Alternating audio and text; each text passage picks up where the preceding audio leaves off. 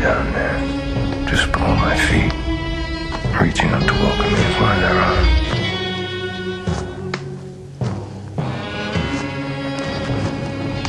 I don't believe in heaven. I believe in pain. I believe in fear. I believe in death. I don't ask why God made men like him. I wonder why he made men like us.